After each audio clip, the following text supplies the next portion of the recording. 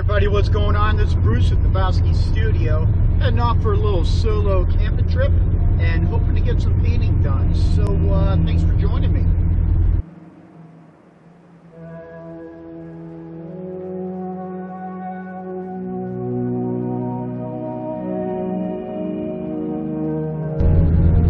All right, so I'm going to Bradbury State Park in Maine, and uh, not my first choice. Lily Bay was packed up full, and uh, here we are. So uh, going to Bradbury, I'll see you there. We're getting a rain test right now, big time. We'll see how it goes. Wow. Okay, so uh, I'm at Bradbury Mountain State Park and uh, got all set up as you can see behind me. We'll take a little tour. But uh, expecting to do some painting this afternoon and got a downpour. Had a couple minor leaks that I need to deal with next time around for sealing up the canopy. But overall it worked pretty well because it was a super downpour. Now let's take a tour. So here's what I got going on. I have a 10 by 10 cheapo canopy from uh, Wally World. Go get you some side panels, some hook on easily. Uh, this one does okay. It's uh, Ozark Trail, goes with the Connect tent. Oh, sorry, not this one, uh, but uh, this one over here. The lighting's very poor. It's only quarter of five, which is not that great in terms of lighting, but uh, here's what we got going on. A little kitchen stand, which I'll use for painting also, if I need to stay under here. My tent cot covered up with its rain fly. Another little, which I should have set up ahead of time, but that would have been helpful about an hour ago when we had downpours to keep the water away from the rug, this outdoor rug it was sopping wet here down below. It still is wet, but it's surprisingly not as soppy wet as I would expect. It's like it, uh, it's going to be quick, quick dry or quick drain, whatever you want to call it. Well, I'm going to go for a walk around the campground and uh, got a big spot. It's my fire pit and everything. So let's take a let's take a little stroll. Now, I've been to this park several times uh, this summer. Mostly, I mean, it's a nice park, but all the other parks in Maine are really hogged up with uh, traffic and you just can't get in. So this place always seems to have openings and a lot of vacancies right now. I expect more rain. I might take a walk over to the state park and see what's going on there. I think I just might go to a park and do some walking around in rain for no good reason. Okay, so I decided to, what the heck, just, uh, if it's going to rain, I'm going to enjoy the rain, and I got my little Frogg Toggs uh, poncho thing, and uh, I think I might take a walk up the summit. It's 0.2 miles. It is uphill a little bit, and here's what I'm wearing.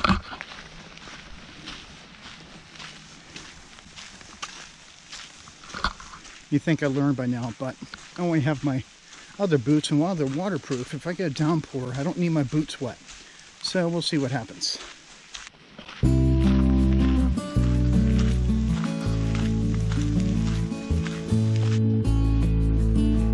Going uphill the whole time. This should be fun. Whew. It's been a long time since I had to exert myself like this. Whew. Of course, I'm moving at a good clip. All right. I'll catch up to you. Okay.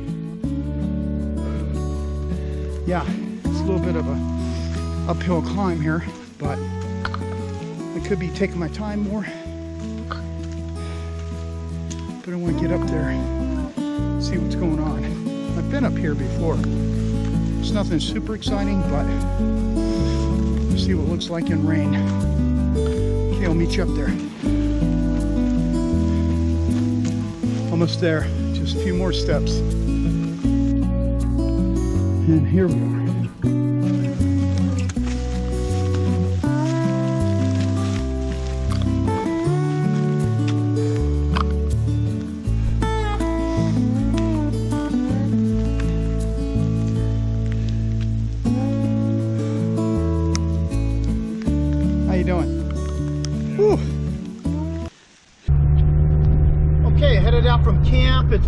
Or 7 in the evening. We had some thunderstorms for quite a while.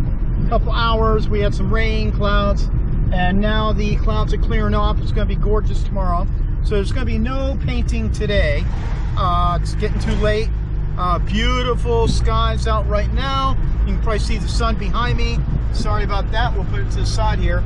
But uh, I'm just going to go take a little drive, check out the sights, and uh, show you around.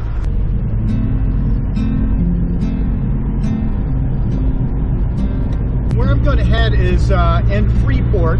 There's a road that goes out to Wolfe's Neck State Park. Uh, last time I came camping at this campground, a friend and I uh, went there, but I didn't have time to paint. So I'm going to go scope out uh, the views. There's some views outside the park uh, showing the ocean and that sort of thing. And I'm hoping if I get there early in the morning, uh, crack of dawn almost, that kind of thing, that I'll have some time all day tomorrow to paint. So uh, let's keep fingers crossed and I'll fill you in once I get there. Beautiful time of day right now. So one thing that's going to be good is if I do see some good sights, I'll have something to paint tomorrow evening uh, to finish up the day. So that's the plan.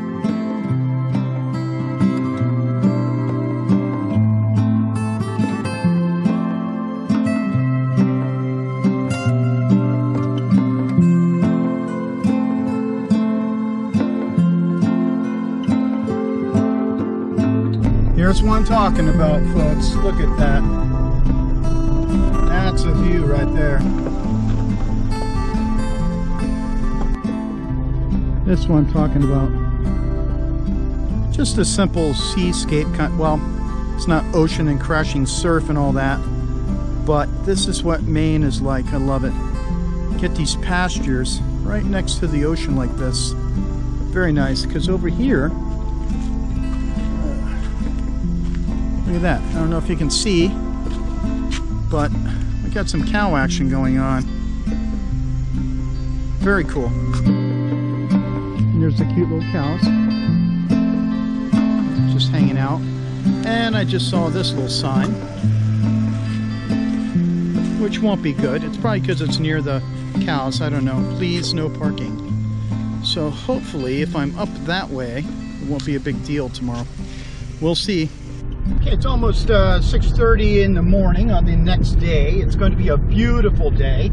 Uh, I got some nice cloud action going on. I'm headed back over to the Wolfe's Neck State Park area to see about maybe doing some painting.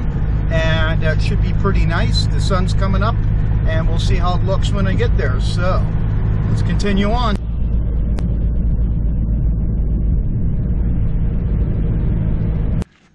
Okay, so I'm at this little uh, area next to Wolfe's Neck State Park. Um, it's a little campground area. I'm not in the campground. Still got a little bit to go.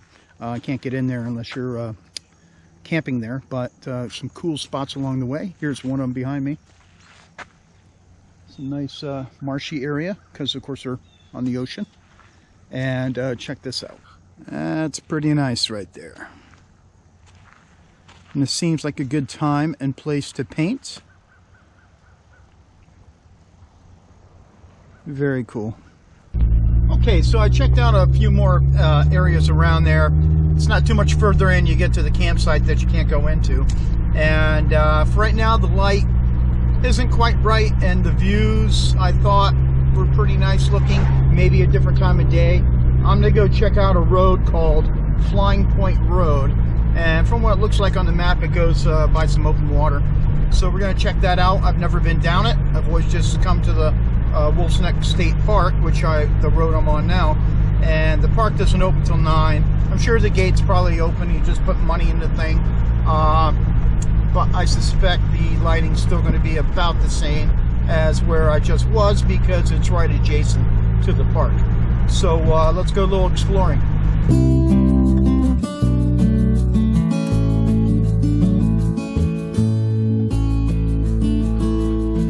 So I'm actually over here in uh, near Yarmouth, North Yarmouth, and doing this little boardwalk trail. I came in over there, and trail comes around and supposedly follows around, and there's a river that we're going to check out. My grand plan is to make it over to Wolfe's Neck State Park It is now, uh, oh wow, it's only 8.40. They don't open till 9. So, uh, pretty sure. Went by there earlier and they were locked up. So, figured I'd do this, do a little exploring near the campsite. So, I don't know, probably five, eight miles down the road from Bradbury. So, let's see what we can get into. Okay, well, there's quite a bit of trail here in the woods and uh, I really want to make it to the uh, Wolfe's Neck Park but there's one other tiny park that I want to check out on the way there so we're going to wrap this up and get back to the car okay we're at Wolfe's Neck State Park super sunny out very nice very nice indeed and I am packed to the gills because I want to do some painting for a while is the plan let me show you that. So here's what I got going on. Got my, my Guerrilla boxes uh, with me. And uh, we're going to try to find a spot that I painted before because there's a couple different views looking out and we'll see what happens. I got binoculars and everything. Check out the osprey nests and uh, we'll go from there. It's actually pretty comfy carrying all this, believe it or not. And uh, of course I got my camera a couple extra camera stuff to film. So, a little bit of extra weight.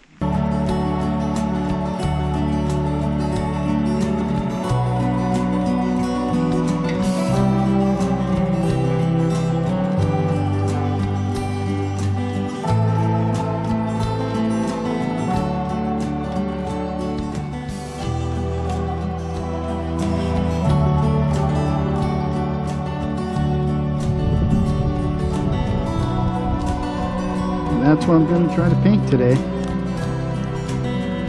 We'll see what happens. Okay, there's the view I'm going to paint on uh, 8, uh, 8 by 10.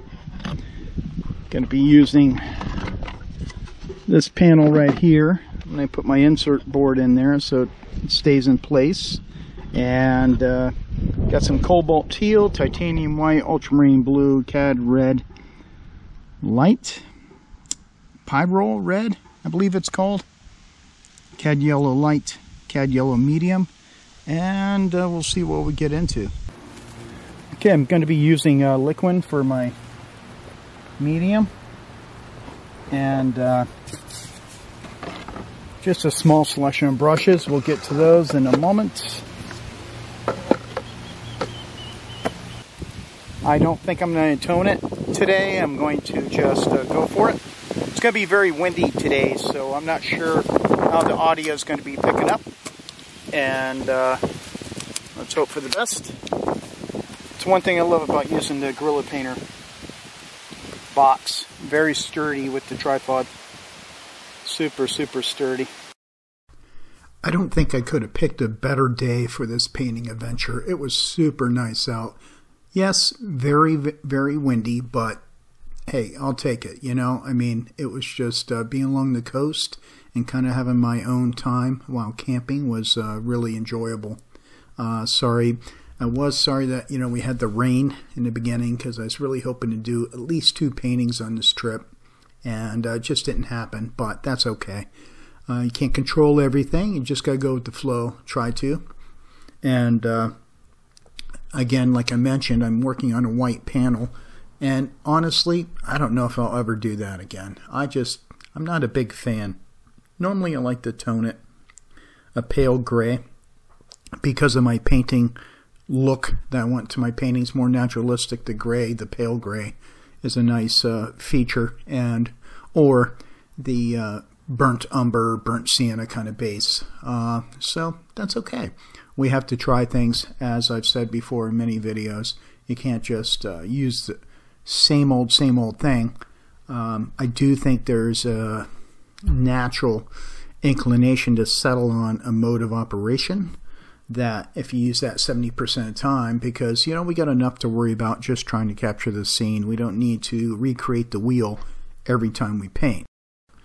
Now you saw me there previously kind of recorrecting my drawing and that that can happen a lot. Like I don't get into uh, thumbnails too much I don't really know why. It's just I've never been a big fan. I know they're useful, but I'd rather just jump into it lightly with the sketch uh, thinned out paint with turpentine.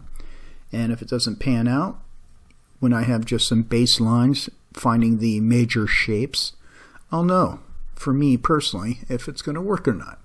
Uh, the big challenge here in this piece was the you can see kind of in the background the tidal waters or the tides coming in or out. I didn't really pay attention to the sequence there, but the point is the water blended in with the sand and, and the subtle variations there.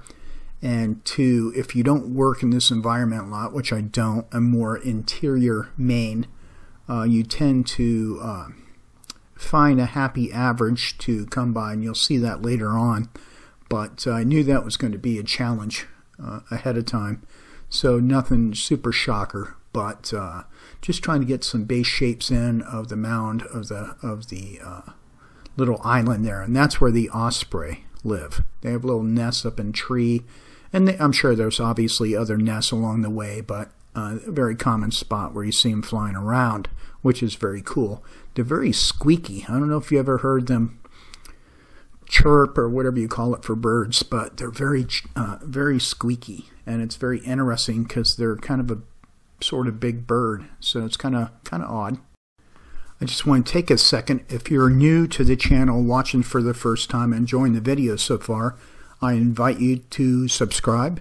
If you do so, hit that bell notification icon because it will alert you as to when I post new videos. Uh, and I encourage everybody, if you like it, to give it a thumbs up. Apparently, it does help the YouTube algorithm to uh, show this to more people.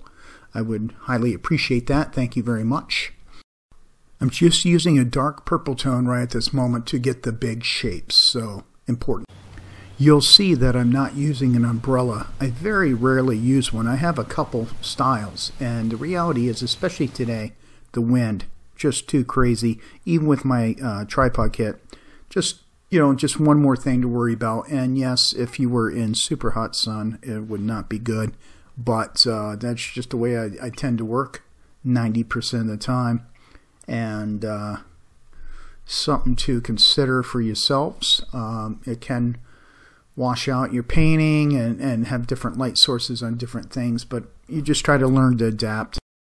Now I'm still just using a purple tone made up with ultramarine blue. I think a little cad red or the pyrrole red just create some dark value and just trying to get the shapes in. And what helps when I'm using the terp, especially in these windy conditions, it'll tack up pretty good pretty fast and when I overlay colors you won't have much intermixing because the paint I'm, I'm not making it thick layers uh, just keeping it thin and and workable trying to find the shape of the island uh, you could spend hours really showing every little detail but I'm getting a general shape of it and just trying to go for it and especially for the fact that I actually haven't been out plein air painting in a pretty good long time. Um, just trying to, it's like riding a bicycle. You don't really forget, but you know, you're just trying to get your feet wet again and that sort of thing.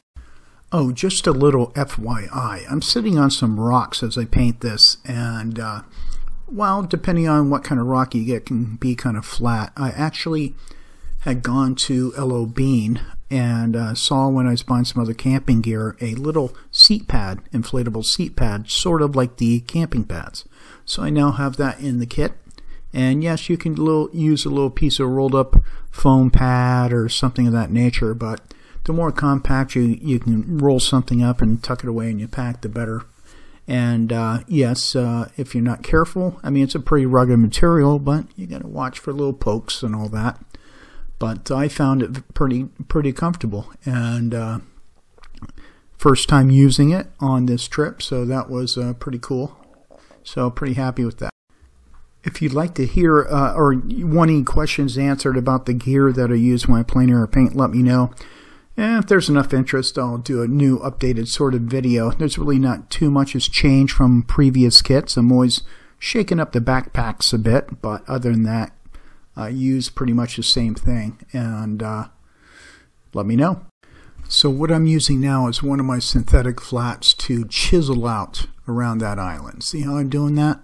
That is a nice technique to finalize your shapes a bit and then I just wiggle the brush around a bit here and there. You can use a softer haired brush if you want some really fuzzed out sort of foggy aspect to the background. But now I'm just kind of blocking in some base tones. The sky was moving frequently. You got to pick and choose your battles. What's going to be interesting about this area in here is I'm going to have to, I mean, it's so similar with the water. I'm going to have to pump up the color a little bit think that'll help. Let's see. Let's try some red. Cad yellow medium. Red. Using a little bit of the blue from the water to neutralize. Lots of white, I think. We'll see what happens.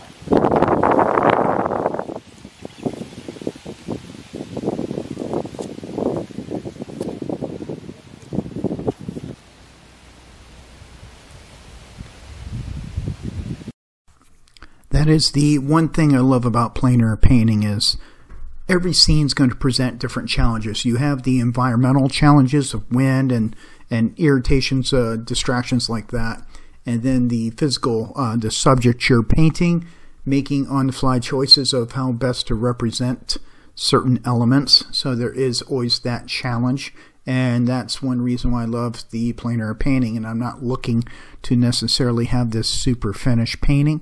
Some work out better than others.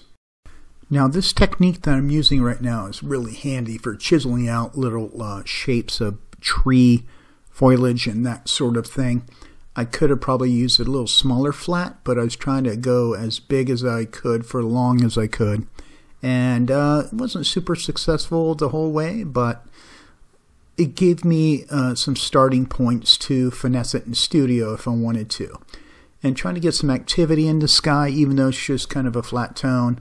Just trying to shake it up a bit, and especially when I get to the clouds later, trying to show movement with the wind, and uh, that's an important factor.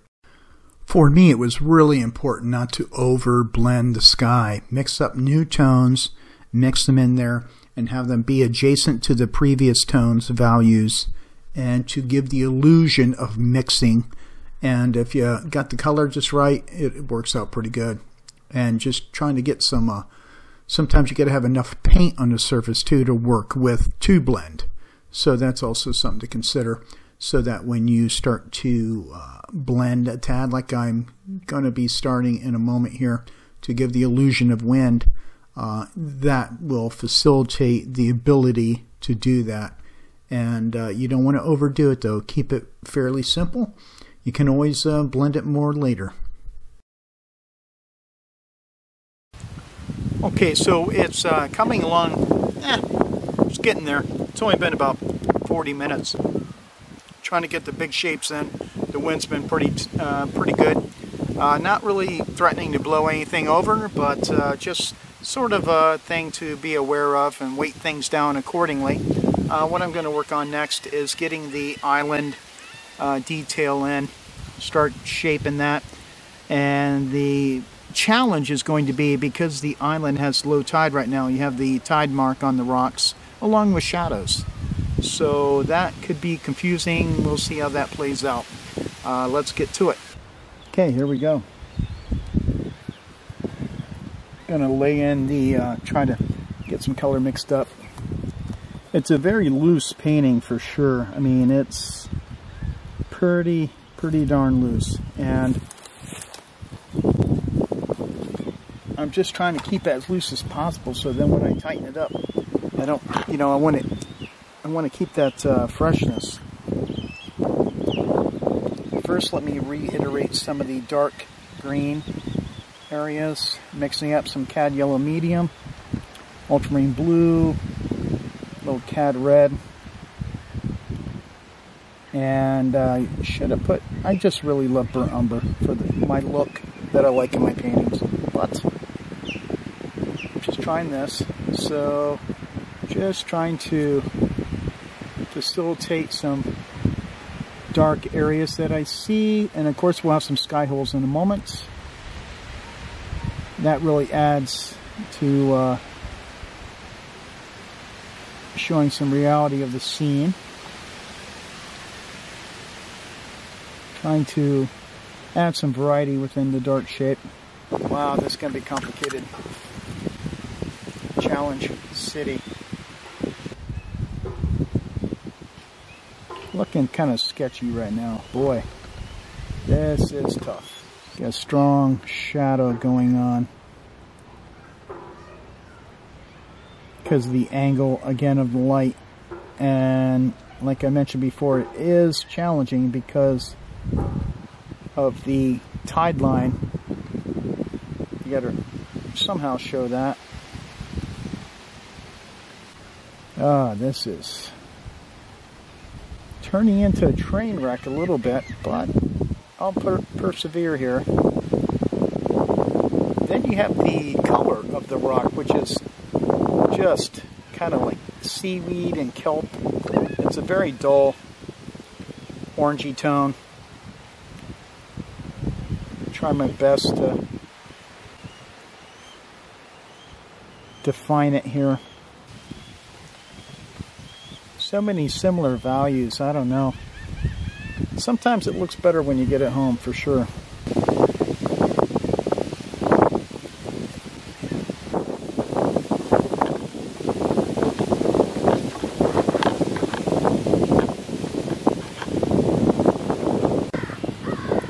This is what we got going on. And uh, yeah, it's pretty messy still. I got to put sky holes in. And I don't like how this seems level with the horizon. And I uh, should pay attention to that in the beginning. I'll probably adjust that somehow. But uh, sort of starting to get some tide thing simulated. Still tricky. We'll see how it goes. Whew, this is proving to be fun times right now. So now you know, not everything's perfect painting. Uh, this uh, was really turning into a hot mess. The biggest thing was really knowing that I didn't have the time to, but the reality is that I needed time to study the difference in tones between the uh, tide line on that island that is a whole different tone uh, because it's uh, always exposed to the tides, and then the top part of the rock, which is always kind of above that tide line and then top that off with shadows. So it'd be something that in the end, if you had the time, like if I was doing a week long painting trip, you you could spend time kind of doing little six eight studies of certain parts. So when you do a bigger painting, you can understand the whole. Like if you're doing this island, pick out little details, do little six by eight studies, that kind of thing. But uh, just didn't have time also was a challenge when you're painting those for the foreground section. The reality is you may have elements there and you think, oh, wow, those are cool rocks and this and that. By the time you paint them in there, you realize, oh, they kind of mimic each other or maybe they don't, but they all line up or, you know, you as an artist have to pick and choose a representation of that uh, environment. Uh, in this case, the rocks, yes, that helped, you know, identify the scene but I can use them to lead the eye in, have a dark accent here, light accent there, that sort of thing, and still tie in using elements in my environment to look at to uh, facilitate having the painting make sense rather than following it religiously. We don't want to typically do that. There's always some kind of adjustments we make, charging up color or, or whatever it may be, like I did with the sandy color, because you look in real life, it's just a lot of gray. A lot of gray. For me, uh, looking back on this uh, painting as I'm uh, making the video, point is, go outside your comfort zone. It's it's really easy to do the same old thing. Super easy. It's a human nature thing. I don't know. But on the flip side, you'll know when your painting's honest. That's I feel. And it's important for us to try to be authentic and find subjects that inspire us. And I'm going to wrap it up here. Finish this at, uh, take a look at it at camp. Okay, well, I'm going to end this uh, little session here and probably touch it up back at camp, take a look at it. Uh, pretty hot mess going on, I don't know, just lost control of it.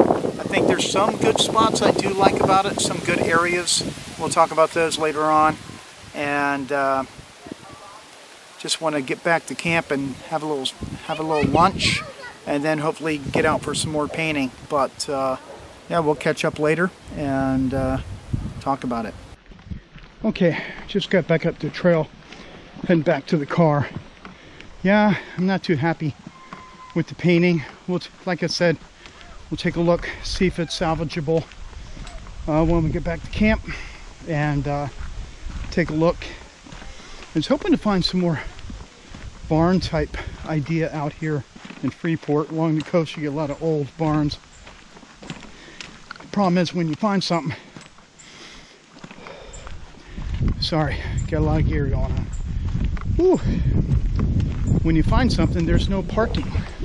You can't just pull off side of the road and be out of the way. So that's part of the problem. But we got some nice trails right along the water.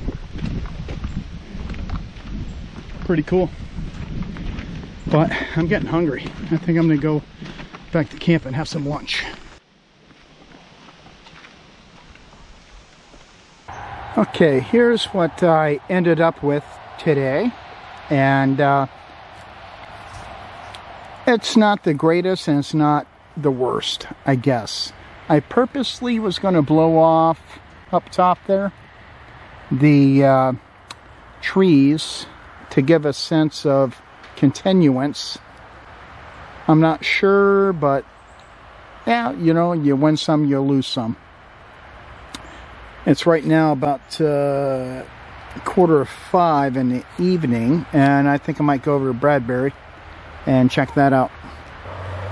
Okay, so I'm going to go over to uh, Bradbury and check that out uh, for the evening and just chill out and relax because the light's not so great here in the campground because so many trees. But uh, I don't know. We'll see how it goes. Uh, for touching up this piece, I don't personally, I don't see saving it. I don't know. I do like the clouds. I like how I handled the sky a little bit. There's some aspects uh, that I'll, I'll try to go over, but a couple things with the horizon and the element with the uh, rocks, uh, you know, the base of the island there with the trees, kind of in line with the horizon, which is not good. And uh, maybe I'll just while the paint's wet tomorrow morning, just make the horizon just a quarter inch, just a quarter inch would have made all the difference. And it's funny how we don't think about that when we're painting, but to be honest, you're out there, it was super windy. You're just trying to get something down. You, you, plein air paintings about making decisions on the fly on a, in a perfect day, which is rare you'll have hours to fiddle with something. But uh, you just got to make stuff happen, hopefully. And it's a good, useful skill overall. So, uh, yeah, give and take. Studio's different in plein air for sure.